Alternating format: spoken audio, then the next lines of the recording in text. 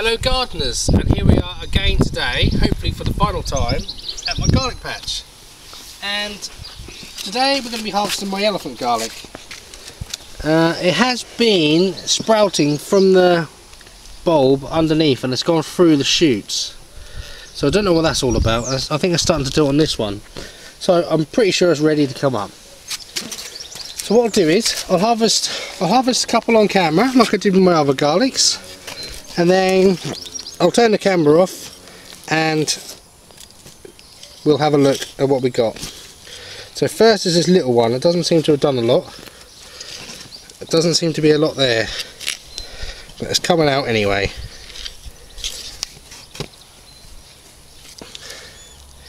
There seems to be hardly anything here really. It's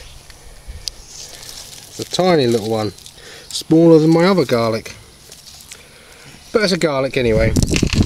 Right, I'll put that down there and then we'll lift this one up here. So this one seems to be a little bit better. Uh, seems to be in there a lot, a lot better as well. So we'll lift this one up. Ah, here he comes.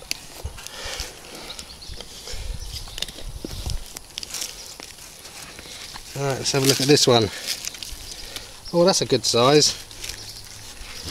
But as you can see here, it's been sprouting and it's gone through the stem. So I don't know what I'm going to do about that. But we'll dig them all up anyway and then we'll we'll have a look at the end. So, well, I'm going to turn the camera off now and I'm going to dig the rest of these up and then I'll turn the camera back on like I did on the last video and you can see all the garlic that's been harvested. So Hello I'll see you in a bit. And this is the harvest that we got from all that garlic. Uh, these are the biggest ones. I put a tennis ball in there so you can see how big they are. And the smaller ones are here. These are the normal garlics. I just wanted to get them out of the way. So if you can just... And then over here is the, the bed that's empty. With this I'm to put some compost over the top. Hopefully in the next week or so I'll be harvesting my onions over there. And I'm to put some compost on and I'm to cover it with sheets. I'm to leave it a couple of months and then my early onions will be going in here. Well that's all I've got time for today.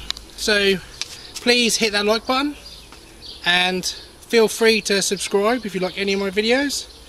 And I'll see you again thanks a lot